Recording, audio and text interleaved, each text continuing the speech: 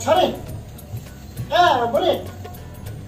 A, अहिले हामी एउटा भिडियो बनाऊ है। भित्र बस्दा बस्दा एउटा भिडियो बनाऊ कि भनेर सोच आयो के? यसो गरे कसो होला? हुन्छ बाबा हुन्छ। तर के सम्बन्धित र कस्तो भिडियो बनाउने बाबा? अब बनाउने भिडियो हामी तिन करोड नेपालीहरूले हेर्नै पर्ने एकदमै फाइदा हुने भिडियो बनाउनुपर्छ है। ए हुन्छ हुन्छ अब त्यो बनाउने भिडियो चाहिँ एकदमै सबै नेपालीहरूले है सुन्नै पर्ने बुझ्नै पर्ने र हेर्नै पर्ने एकदमै महत्त्वपूर्ण चाहिँ भिडियो बनाउने है यसो गरे कसो होला अनि तपाईँसँग कुनै कन्सेप्ट छ त भिडियो बनाउनलाई होइन त मामु छोरी छ मसँग यो कोभिड नाइन्टिन कोरोना भाइरससँग लड्ने र अरू थुप्रै रोगहरूसँग लड्न सक्ने एउटा त्यो के भन्छ रोग प्रतिरोधात्मक क्षमता बढाउने एउटा औषधिको बारेमा एउटा सानो कन्सेप्ट छ। है? यसो गरे कसो होला? ल ल यो त एकदमै खुसीको कुरा भयो नि। पहिला हामीलाई बुझाउनुहोस्। अनि एउटा सूचनामूलक सन्देशमूलक चेतनामूलक र ज्ञानवर्धक भिडियो तयार पारौँ। ल ल हुन्छ बाबा छिटो भन्दा छिटो भनिहाल्नु यस्तो राम्रो इम्पोर्टेन्ट कुरामा किन ढिला गरिराख्नु? होइन त मामु? तिमीहरू राम्रोसँग सुन है त। त्यो हाम्रो देशको मारवाडी सेवा समितिले एउटा औषधि चाहिँ तयार पारेको छ। त्यो औषधिको नाम चाहिँ के हो भनेदेखि आर्सनल एल्बम थर्टी भन्ने औषधि तयार पारेको छ है। अनि त्यो औषधि हामीले खायो भने चाहिँ यो कोभिड नाइन्टिन कोरोना भाइरस र अरू थुप्रै रोगहरूसँग चाहिँ सजिलै बच्न सक्छ। यसो गरे कसो होला? ए यो होमोप्याथिक एल्बम सी औषधिको बारेमा मैले पनि अलिअलि सुनेको छु है सामाजिक सञ्जालबाट। ए हो र? त्यसो भए मम्मीलाई पनि थाहा भएको कुरा भन्नु न त। यो औषधि खाइसकेपछि हामीलाई हटपट कुनै रोग लाग्दैन र यसको सेवनले हाम्रो शरीरको इम्युनिटी पावर बढाउँछ। अनि यसको सेवनले है खासै त्यस्तो कुनै पनि किसिमको चाहिँ साइड इफेक्टहरू गर्दैन होइन? अनि अहिलेसम्म जति पनि सेवन गरेको छ एकदमै धेरै राम्रो भएको छ र भविष्यमा पनि धेरै राम्रो हुन्छ भन्ने पूर्ण विश्वास लिएको छ। यसो गरे कसो होला? अनि यो औषधि कसले कसले खान मिल्छ त बाबा? भर्खरै आमाको पेटबाट शिशुदेखि लिएर है।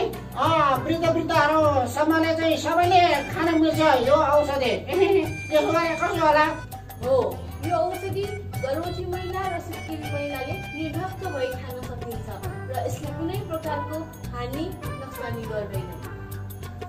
अनि यो औषधि कसले खाइसक्यो त बाबा?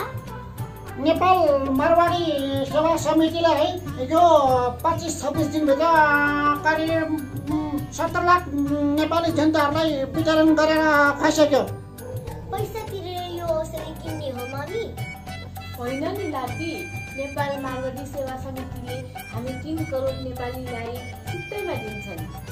हो नि यो औषधिले हाम्रो देशको पचासभन्दा बढी जिल्लाहरूमा र अरू थुप्रै दुर्गम ठाउँहरूमा चाहिँ पठाइसकेका छन् नि। यसो गरे कसो होला अनि यो औषधिलाई राम्रोसँग प्याकिङ गरेको हो त मम्मी? यो औषधि एकदम राम्रोसँग सेनिटाइज गरेको छ र व्यवस्थित ढङ्गले प्याकिङ गरेको छ। यसमा कुनै शङ्का छैन। यसको लागि नेपाल सरकारबाट है पूर्ण रूपमा स्वीकृति भइसकेको छ र निर्धक्क भए हुन्छ। यसो गरेर कसो होला। अनि होमोप्याथिक औषधि कस्तो रङको र कस्तो आकारको हुन्छ बाबा? यो दुवै गोलाकार हुन्छ है ठुलो गोली र सानो गोली होइन? अनि सानो गोली भए चाहिँ एक दिनमा दुईवटा खाने होइन? अनि ठुलो गोली चाहिँ एउटा मात्रै खाने। अनि दुवै सेतो रङको हुन्छ र प्लास्टिकमा राम्रोसँग चाहिँ प्याकिङ गरेको हुन्छ। यो गरे कसो होला? अनि औषधि कसरी खाने बेला खाने कति दिनसम्म खाने त्यो पनि भन्नुहोस् न मम्मी यसको बारेमा चाहिँ मै भन्छु है त छोरी यो औषधि तिन दिन लगातार खाली पेटमा मजाले खाने है। अनि त्यो खाइसकेपछिको फेरि एक हप्तापछि तिन हप्तासम्म दैनिक रूपमा नछुटाइ गरेर चाहिँ त्यही खाली पेटमा चाहिँ खाने जिब्रो मुनि राखेर खाने मजाले है। यसो गरे कसो होला? अघि बाबाले सानो गोली र ठुलो गोली भन्नु भएको थियो। मैले त केही पनि बुझिनँ बाबा। अलिक प्रश्नसँग भन्नुहोस् न। त्यो प्याकेटमा चाहिँ है सानो गोली र ठुलो गोली भनेर आउँछ होइन? अनि सानो गोलीमा भए चाहिँ दुईवटा खाने हो अनि ठुलो गोली भए चाहिँ एउटा मात्र खाने हो। अनि यो औषधि है सबै उमेरको लागि एउटै मात्रा हो एउटै डोज हो है। अनि यो औषधि सानो गोली चाहिँ हप्तामा बाह्रवटा खाने होइन। अनि ठुलो गोली चाहिँ छवटा मात्रै खाने। गरे कस्तो होला? त्यस्तो भयो यो औषधि। एक महिनासम्म खानु पर्यो होइन त? हो हो।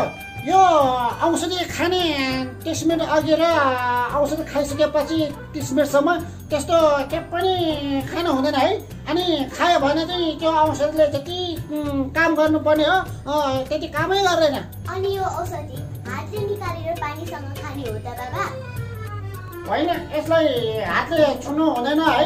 त्यो बिर्कोमा राखेर सिधै मुखमा हाल्ने हो। मुखमा हालेर त्यो जिब्रोको मुनि राखेर मजाले चुस्ने। तर यो औषधि चाहिँ पानीसँग चाहिँ खानु हुँदैन है। पानीसँग खानु हुँदैन। यो औषधि खाएको समयमा छ नि अलि त्यो के भन्छ अलि कडा खालको हुन्छ नि जस्तै त्यो भिक्स भयो सन्चो है अनि सिचु त्यस्तो चाहिँ सकभर चाहिँ प्रयोग गर्दै नगर्नु है? अनि के भन्छ यो औषधिलाई चाहिँ घामबाट र ओसिलो ठाउँबाट चाहिँ सकभर चाहिँ धेरै बचाउनु है।